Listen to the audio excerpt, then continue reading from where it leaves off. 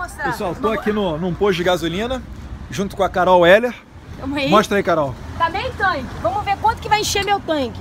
Teu carro tá meio tanque. Tá meio tanque. Cadê ele? Onde é que mostra? Ah, ali, ó, fui ali embaixo.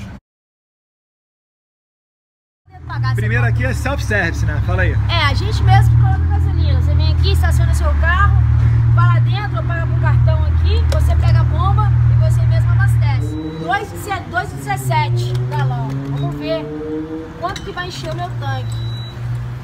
Tem propagandinha aqui.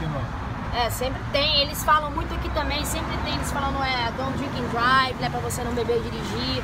Sempre eles estão lembrando também pra você botar o seu cinto, pra, pra tentar manter a polícia salva também, porque às vezes a polícia para alguém e as pessoas não têm a preocupação de não passar correndo do lado da polícia. Então eles estão sempre falando aqui, poxa, Como é que é a abordagem? Não, tenha consciência. Se você vê um policial parado, vai duas faixas do lado. Que aquele policial tá colocando a vida dele em risco. Ele parou um cara ali porque tem necessidade de estar embriagado ou fez alguma coisa e a polícia fica exposta.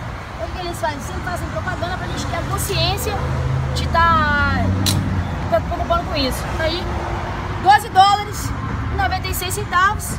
Eu botei meio tanque de gasolina. Obrigada, Dilma. Imagina pagar 12 reais e botar meio tanque, hein? Tá vendo aí a Dilma? 24, 24 mil reais sem tanque. E olha que nós somos donos do petróleo, né? Autossuficiente, né? Altos. Isso aí. Junto. Mas é isso aí. Nós somos os donos do petróleo e autossuficientes. Aí, pessoal, E pagamos o preço mais absurdo. agora você está pagando o preço da Lava Jato, lá da corrupção do, petro- do pessoal que desfiou do Petrobras. Porque antigamente, quando subiu o preço da gasolina, o que eles falavam? Que era o mercado internacional, que o preço do barril do petróleo é regulado pelo mercado internacional. Só que antes, o, dó- o preço do barril do petróleo estava em 150 dólares. Agora que está 20, 30 dólares, o pessoal não reduz o preço da tua gasolina. Sabe por quê? Se fizer isso, a Petrobras quebra.